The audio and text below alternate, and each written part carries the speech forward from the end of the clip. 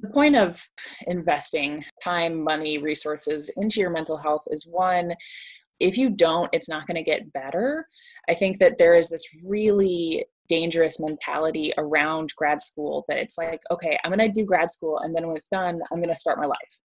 And that's for some reason that uh, the moment you graduate, everything's going to get a lot easier and there's a lot less stress and you're going to be making way more money and you're going to feel like an adult. And not surprisingly, I, when I talk to people who've been out of their PhD for six months, they're sort of still reeling from it.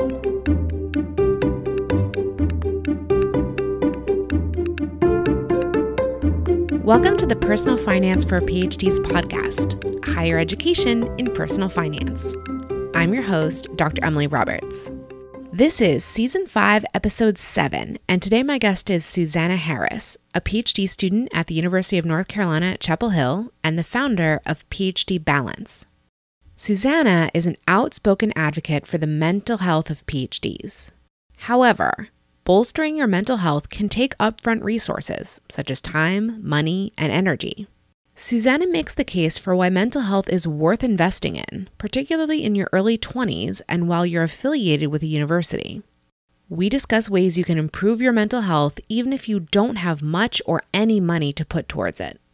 Without further ado, here's my interview with Susanna Harris.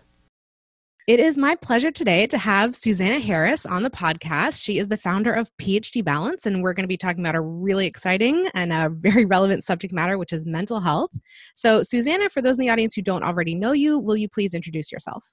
Sure thing. Well, first of all, Emily, uh, thank you for inviting me. It was uh, at first when you asked for me to be on i was like i don't know what my work has to do with uh with finances and it's definitely not something i've got nailed down. Um, but yeah I, I started phd balance um, about a year and a half ago uh, to really just start talking about mental illness in graduate school. I myself am uh, we'll say a, a, final year PhD student in microbiology. Uh, and what I really wanted to do is just start talking about mental illness because I'm someone with depression and anxiety and working on a PhD. Uh, and throughout this process of building that community, I've I've learned a lot of really important things. And um, yeah, one of which is how important it is to get mental health care and how it can be really tricky for people to find space in their finances to do that. Yeah, that's exactly how we'll narrow this very vast subject down today, the, the crossover point between the two of us. Um, so tell us a little bit more about this origin story of PhD Balance, because I understand there's even a name change involved. Yeah, so one of the, I think that was one of the most difficult decisions for me. So when originally this started, it was just called PhDepression, again, because I was a, a PhD student with depression. I thought maybe I would put up a, a Instagram post and find a couple other people who'd be interested in joining. The whole point was to share a photo like you would put up on Instagram or you know the image that we put out to academia and then in the text share a more personal story about your own dealing with mental illness um, or mental health struggles while going through academia. Um, and this all came about actually because uh, about a month before, so PhDepression started in March of 2018. About a month before the this Nature Biotech paper came out, showing about 40% of graduate students were dealing with uh, anxiety or depression or the symptoms of them at any given time. And I saw that and it was just like, oh, I I kind of had no idea. I thought I was really alone in this. And I looked around, I was in a conference of about 200 people, and I thought, there's no way that five other people understand. And I think that that's where it sort of clicked of we get these numbers, but it doesn't really mean anything unless we can look around and find other people who are going to understand us, who are going to listen to us, not judge us, and then really importantly, be able to give us the resources that we need when we need them. Uh, and so probably about a year into it, um, well, six months in, I ended up turning it into a business. Uh, and that was mostly for liability reasons. I, you know, it's a sensitive topic to talk about mental illness. Uh, at that time, I had a, a small team of people working with me, and I want to make sure that if anything should happen, if we ever faced anything legal that we just didn't know about uh, that that responsibility would fall on my shoulders and of course once you have a business then people ask you to kind of run it as a business and figure out money and um, as we were doing that trying to think of what is going to be a sustainable financial model for what we do uh, we realized that changing to PhD balance, one, people could pronounce it easier, which is always a benefit. Um, two, you know, the, it really became much more about general mental health.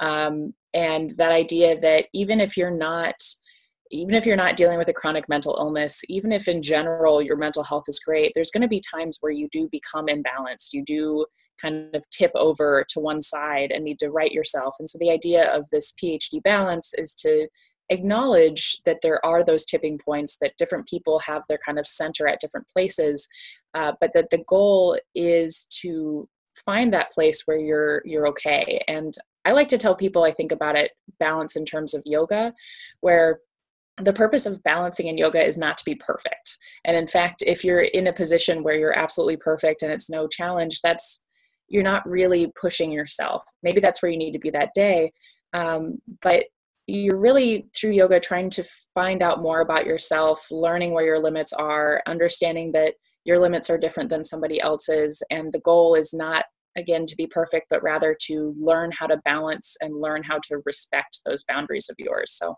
we thought phd balance was a uh, a good switch to encapsulate all of that. Yeah what i'm getting from what you're describing is is a dynamic balance right? And not a not a static balance. And I actually and i really like i mean i think everyone likes the term balance but i like it too. And one of the reasons is really what we'll be talking about during this interview is um you're it's not actually that mental health is one's only concern right? You would not sacrifice everything else in your life to have whatever perfect mental health might mean because this does impact other areas of your life such as finances such as time management such as work life balance other areas. Um, and so it is about finding a balance between what your needs are and your resources are in you know one area versus another and it does have to be dynamic over time.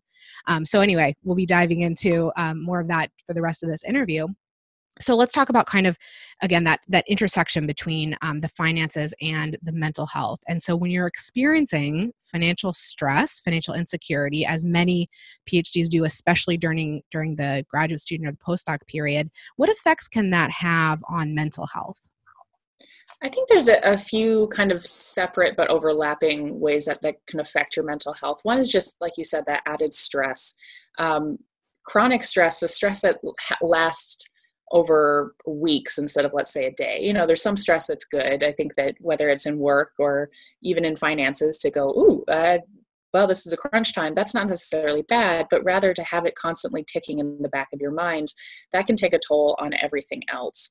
And um, oftentimes when we're stressed about finances it's not just that we want to get to a certain goal but rather that we're afraid of falling into something else right? Especially as people who in general are not making a lot of money um, or are making no money or are paying money um, it's it's not so much always about like oh how can i best invest my extra money? It's rather okay how do i get by with my rent and my food and you know any dependence i might have?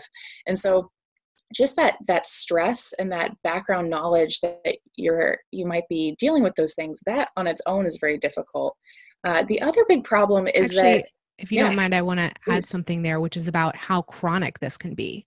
Yeah. Because I think in regular, you know, society, in a normal kind of job, if you were experiencing financial stress or insecurity, there are t- actions you can take to alleviate that uh, by increasing your income through your primary job, finding another job, moving to another place. But inside academia, we don't feel as free because we have this like career goal that we're pursuing, and the income is not really the main point of the job, right? The it's the training for that next stage um, and so we start to feel more stuck whether that's actually true or not how stuck we are i think it's a very common feeling it. And to me, that contributes to the stress as well, is just looking out of this long time horizon of this is gonna this is not gonna change for years and years and years, uh, potentially. And yeah, I, I really think that that contributes to it, the stuck feeling. Yeah, well, absolutely. And you know, sometimes I think about so I'm uh, I'm in my sixth year, and at this point, I've invested so much time and um, you know money that i could have made in a higher paying job and i've gotten paid the same amount for five and a half years. Now if i decided i have to have more money right now i'm, I'm really lucky to be a single person um, who didn't come in with a huge amount of debt um, and has has a lot of skills that help to keep my my financial requirements down. Um, but let's say I had a dependent, or let's say, you know, something happened. If I needed more money, I literally could not get it right now. Part of my department is that we signed on saying we weren't going to have a part time job. Um, and so I would have to choose between my actual needs versus all of this time and energy I'd put in and walking away with almost nothing. Um, at this point, I actually can't master out. It's a weird part of my department.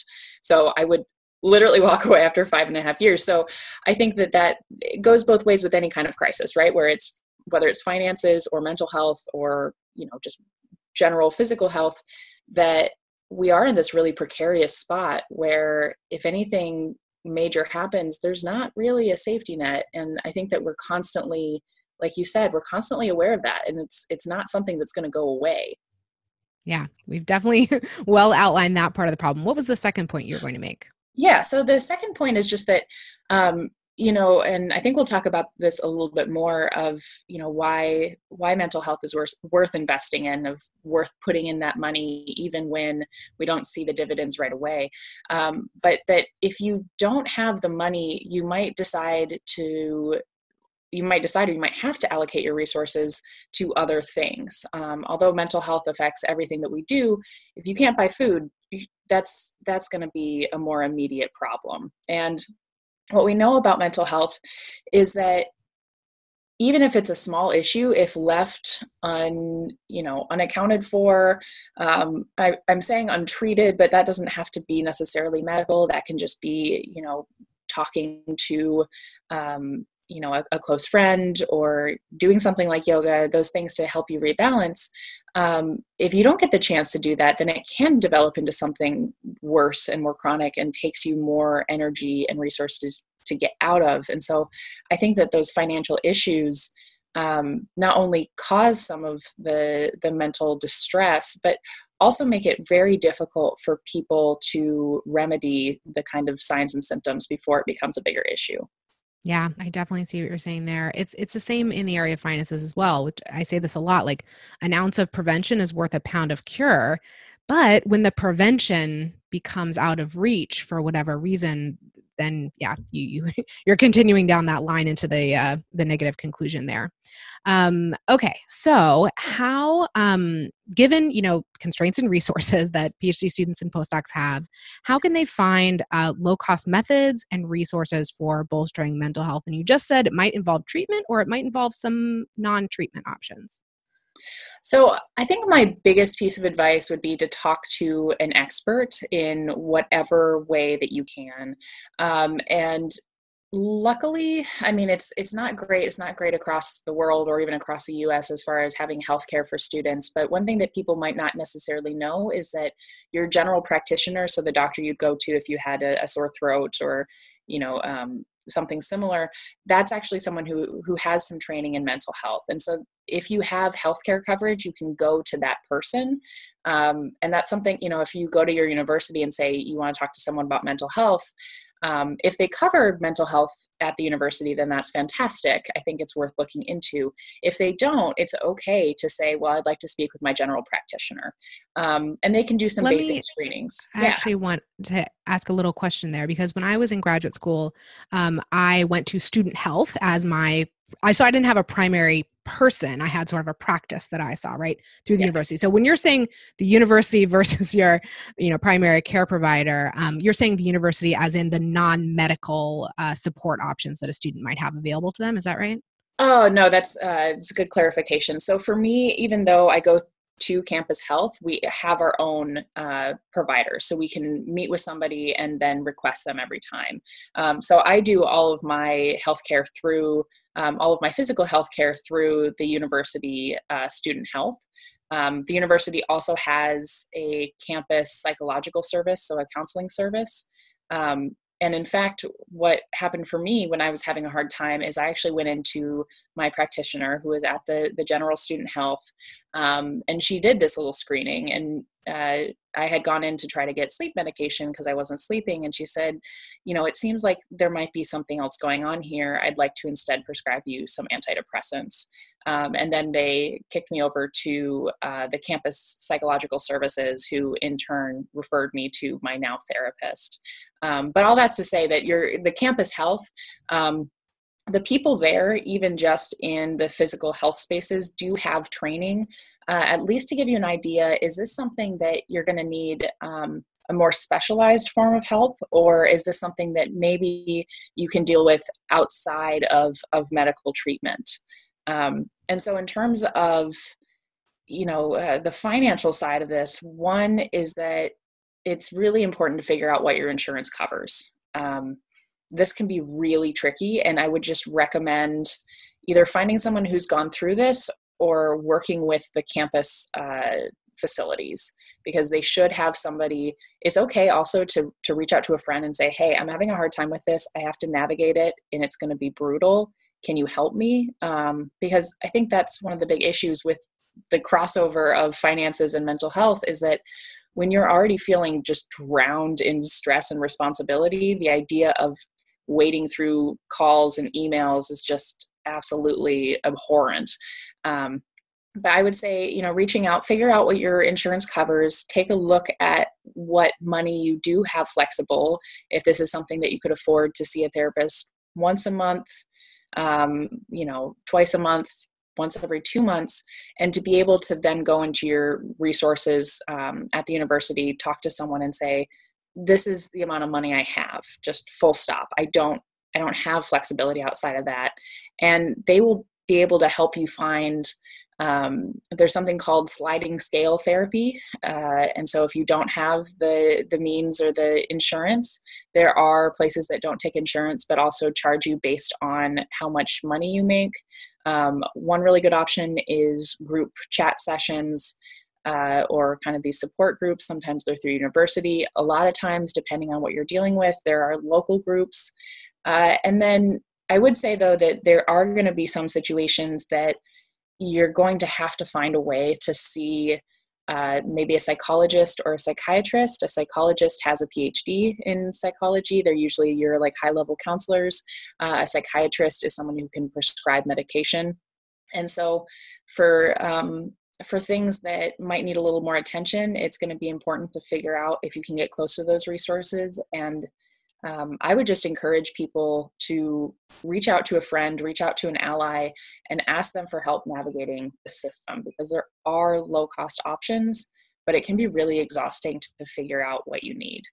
Yeah, that's a great point. It would be, I'm imagining it would be amazing if there were a a campus affiliated person who could like officially could help you navigate this mm-hmm. that may or may not exist in different places and that like sort of an ombudsman i guess that kind of thing yeah. um, maybe that would exist i know for me when i um, sought out a little bit of counseling help when i was in graduate school um, i if I remember correctly, I went straight to the counseling services on campus. I did not go through like the medical referral route and they had some kind of um, you know sort of package available like you can get this many sessions for free you know over the course of the semester and then if i needed more than that i think it would have gone through my insurance. Mm-hmm. um, and then the other place that i went to was actually through my church and i was able to get mm-hmm. some free counseling sessions or actually some were free and some were low cost um, through that avenue too. So it could be another maybe community group that you're part of. Maybe that's something that is provided to you as a benefit for being part of that group maybe. Um, so that's kind of the, the medical side of things. Mm-hmm. Um, actually, I want to make one more point, which is for mm. graduate students who are younger and who are still on their parents' insurance. Mm-hmm. This is mm. something that you might want to consider when you have insurance offered to you through your graduate program, but you also have the option of being on your parents' insurance still. If you know that you're going to need this kind of care, and this would apply to a variety of other medical conditions as well, um, which insurance is going to be more beneficial to you? And maybe even is there a way to get double covered potentially? Um, I don't know if that's the case sometimes. So just something to evaluate if you're eligible for more than one plan.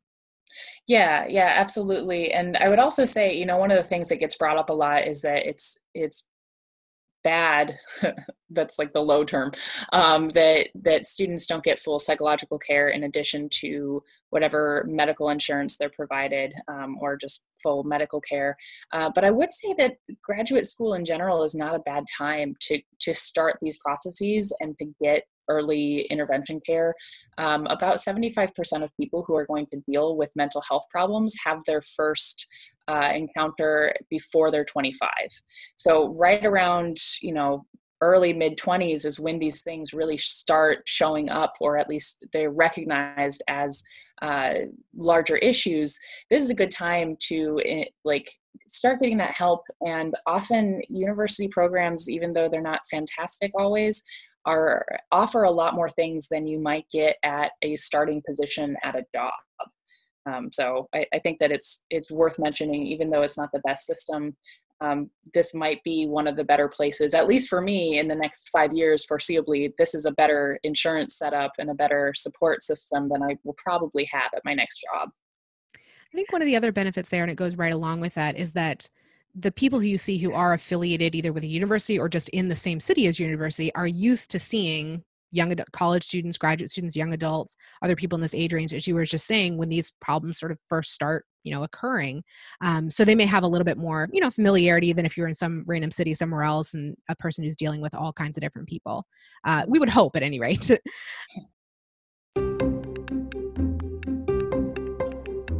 Emily here for a brief interlude.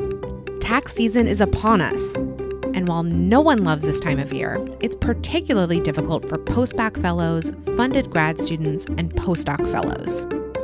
Even professional tax preparers are often thrown for a loop by our unique tax situation. And don't get me started on tax software. I provide tons of support at this time of year for PhD trainees preparing their tax returns, from free articles and videos to paid at your own pace workshops to live seminars and webinars for universities and research institutes. The best place to go to check out all of this material is pfforphds.com slash tax.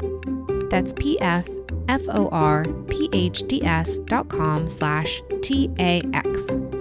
Don't struggle through tax season on your own. Visit my website for the exact information you need in the most efficient form available. Now back to the interview. Okay, so that was kind of on the medical side of things. But what about on the more of the the balance that's not directly related to the medical or counseling treatment of, of mental health problems? Um, what's what about what can people do that's low cost or no cost on that side of the spectrum? Well, I, I love that you brought up um, the aspect of your church. So whether or not it's a, a church, you know, more religious side or um, some other kind of community-based services. And I also know that some churches, even if you're not a regular member, even if you're not necessarily religious, will offer those kinds of support groups for people. Um, depending on where it is and, and what exactly you're looking for. Uh, but even things like joining a yoga studio or, or finding a group, you know, um, like what is it, meetup oftentimes has groups that get together to do yoga or have conversations. Um, what can be really helpful for your mental health there's a couple things. One the biggest thing is is having a community and being able to feel like you can reach out to somebody and say hey i'm having a hard time um, and and to know that they have you. So i think you know that's technically a no cost option of it, it takes time to build those relationships uh, with people that you can actually trust. Uh, another really big thing for your mental health is your physical health. Um, and you know being able to unplug from our phones you know, which is kind of funny coming from someone who I, I basically live on social media but i do actually i try to take a week off every two or three months um, but taking some time away from our built environment inside and getting outside or um, you know if if you have access to university gym fantastic. If not going for a walk is fantastic. Um, you know call a friend while you go for a walk if you don't want to be alone or walk to the grocery store or a lot of times if i'm having a bad day i will get off the bus one stop early and just give myself a little bit extra space.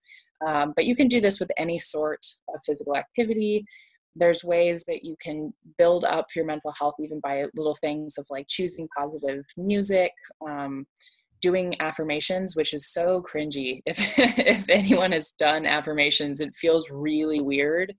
Uh, but one of the things that i do that helps that takes like three minutes um, I call it 321, where I list out three things I'm grateful for that day, two self compliments, so the things that I would say to a friend, um, but to myself, and one self love thing I'm going to do that day. It could be get myself a coffee, it could be, you know, call a friend, whatever.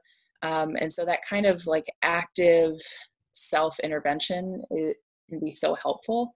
Um, and then I, I want to add something there. Um, I really love that you gave that little that little tool because it's so. I mean, you can do that at any time throughout the day, at any point. Um, I so I've recently been learning more about affirmations also, and I've actually published a, po- a couple um, podcast episodes on how sort of your mindset with respect to money and career um, affects your finances overall, and how affirmations can be helpful in reversing limiting beliefs around money or, or false beliefs that kind of hold you back from from accomplishing things so i also was very like resistant to this idea of affirmations when i the first dozen times I encountered it. But anyway, anyone who's interested in that kind of thing, there's been a couple episodes in the past. I'll link them from the show notes on how, I mean, this affects all different kinds of areas of life, but I've been focusing on learning more about how they um, affect your money mindset. Huh. Uh, but go, go ahead. Oh no, that's just that's super cool. Now I'm gonna have to go back and listen to those podcasts. Um, no, and then uh, the last thing is just having hobbies, having things that you do outside of um, of your work, and that can be anything from again working out can be a hobby, or cooking, or sewing, anything that you do not because someone else is gonna think it's cool. You know, something that you walk away from and you're like, yeah, I feel better just cultivating that it it takes time away but it is a way for you to to give back to yourself and um, you know basically a, a very low cost way of taking care of your just overall balance there's one more that I want to add in there. I think it's on the physical health side of things, but that is sleep. Um, so this is something that I learned like personally. I did not sleep a lot during college. Like it was such an intense time, and um, I kind of it was weird. I actually went on graduate school interviews about a year after I finished college saying, if people ask me, oh, what do you like to do in your spare time? What are your hobbies? I would just say, I sleep now. That is my hobby. I lost all my hobbies during college. Now I sleep. That's how I'm choosing to spend my time and, and build into myself. And it's something that I I've never returned to that lack of sleep that I mm-hmm. that I you know practiced during college. And anyway, it's it's so much better on this side of things with the sleep. Yeah, yeah i think that i mean overall a lot of these things can be summarized of like there's there's two limiting factors right? You've got the limiting factors of finances and you've got the limiting factors of time. Um, and in general you're going to have to choose uh, what you're going to pay into it of um, yeah and, and you're probably going to have to pay in both but it is worth it because you get back both I think that's what's really cool is that if you're at a place mentally that is more healthy, you're going to do better with your finances, and you're definitely going to do better um, with with your time management and with the enjoyment you get out of your time. Yeah, I think so as well. I don't I don't really think of these activities as taking away from time or money, but like you said just just building back into it. Like um I hear this a lot about like working out. Like working out does not take time out of your day. It gives you back time during your day because of the mm. um, energy like boost you experience from it and how much well, if we want to talk about productivity, how much more pr- productive you can be um, after working out and so forth. Um, okay, so great low and no cost resources there. Um, and you know, you mentioned earlier this idea of investing in mental health, and especially at this particular time of life of you know potentially the early 20s. Um, why is mental health worth investing in right i use that term very carefully um, because there's very few things that actually qualify as like investing and because i deal with finances i think about actually putting money towards making more money mm-hmm. but there is this parallel idea of investing in other areas of life that don't directly give you returns on your money but rather give you returns on yourself your person. So so what is why is this worth investing in? Wow there's there's just so many things and I, I, guess i'm saying this from a perspective of somebody who uh if we'll keep going with the analogy just like really kept digging into that credit card of mental health where i really didn't sleep much. I'm still guilty of this of sometimes pushing it too hard of um, you know having to dig into these stores that i don't necessarily even have. Um, but that the point of of investing uh, time, money, resources into your mental health is one. Um, if you don't, it's not going to get better. I think that there is this really I think it's dangerous mentality around grad school that it's like, okay, I'm going to do grad school and then when it's done, I'm going to start my life. And that's for some reason that uh, the moment you graduate, everything's going to get a lot easier and there's a lot less stress and you're going to be making way more money and you're going to feel like an adult. And not surprisingly, I, when I talk to people who've been out of their PhD for six months, they're sort of still reeling from it. That they're like, "Oh, it's I still have stresses, I still have responsibilities, and in fact, it's it's really hard now because I have dealt with these for so long. It's it's exhausting." Um, and so, one of those things of why investing now is important is that um, relative to at least how my future looks that i want to have a family and kids. I want to have a really full career. I i want to stay i love being busy um, is that i don't foresee my life getting suddenly easier and for me to suddenly find an extra hour in every single day to start dedicating. And so building those healthy habits uh, is going to set you really well up for the future when you do have more responsibility rather than just quite this much stress, which I think this is a really weird time. There's a huge amount of stress there, there's no question.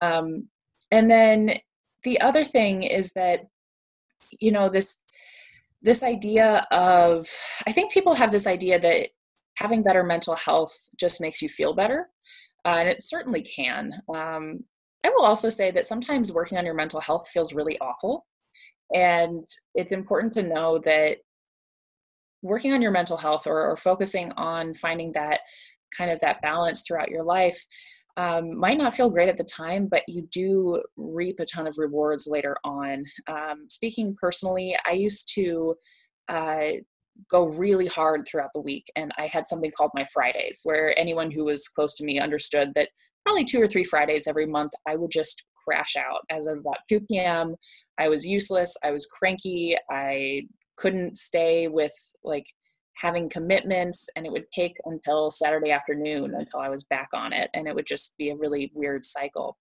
And looking at it, if I and this is what I've started doing is that I've been able to invest, you know, 20 minutes a day or so, um, or on average, and then I don't have that crash out time at the end of the week.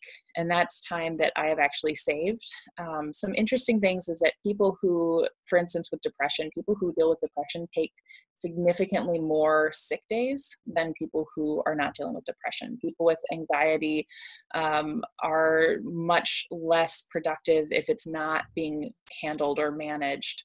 And so, although you might be working more hours, and feeling like oh i can't possibly fit 30 minutes of exercise in here a day um, based on based on the data we have you'll probably be much more productive and you'll probably make up that 30 minutes and, and then some. And you'll also have the benefits of of the enjoyment that you have there I just, I mean, I think you're making excellent points um, on this mental health side of the equation, but I just have to underline everything that you're saying on the financial side too of like, don't, um, you know, don't squander this opportunity that you have at the moment um, in building those positive habits in multi multiple different areas of life because I, I couldn't agree with you more that it is pervasive in academia that we think that our life somehow gets to be put on pause during graduate school or during phd training and it's it's really not the case and as you were saying if if you allow problems to lie uh, unaddressed they just they fester and they grow and then it takes much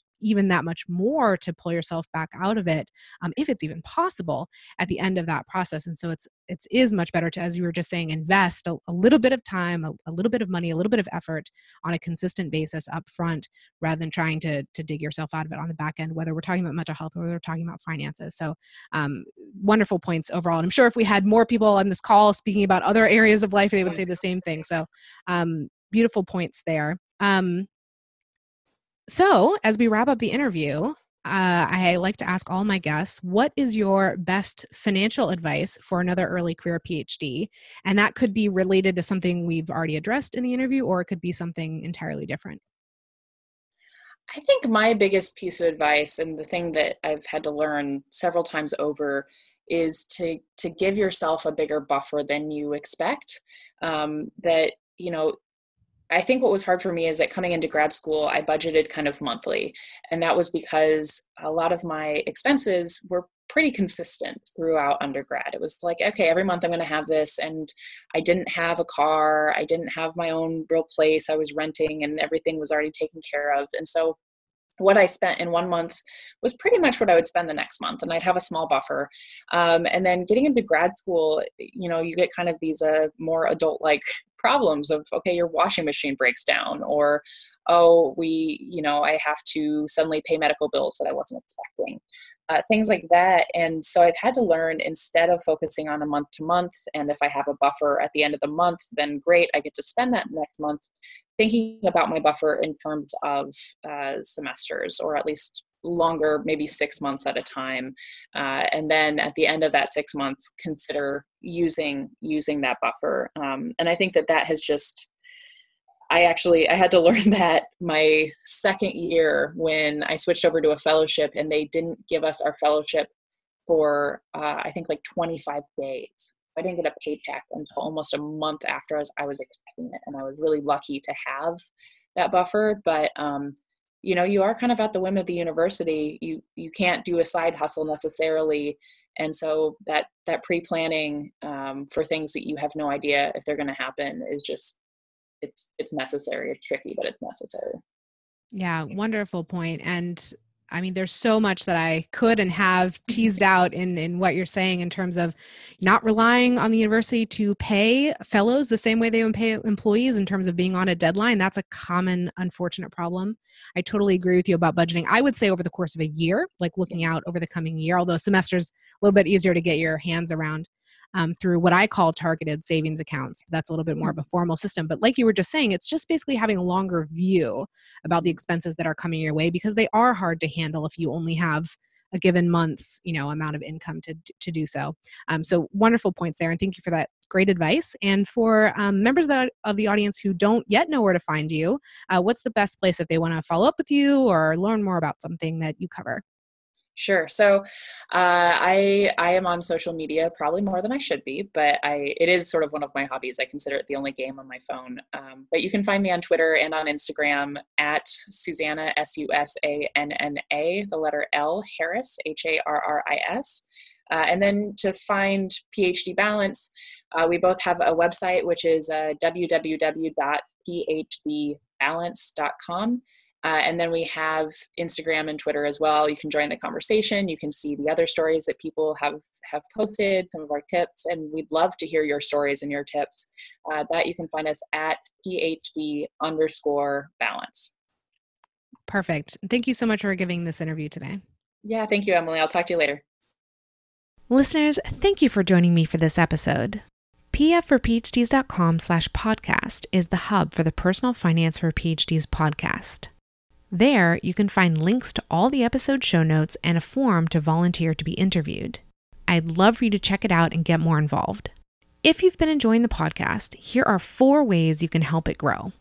One, subscribe to the podcast and rate and review it on Apple Podcasts, Stitcher, or whatever platform you use.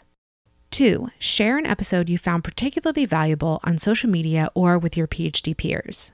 Three, recommend me as a speaker to your university or association. My seminars cover the personal finance topics PhDs are most interested in, like investing, debt repayment, and taxes. Four, subscribe to my mailing list at pfforphds.com slash subscribe. Through that list, you'll keep up with all the new content and special opportunities for personal finance for PhDs. See you in the next episode, and remember, you don't have to have a PhD to succeed with personal finance, but it helps.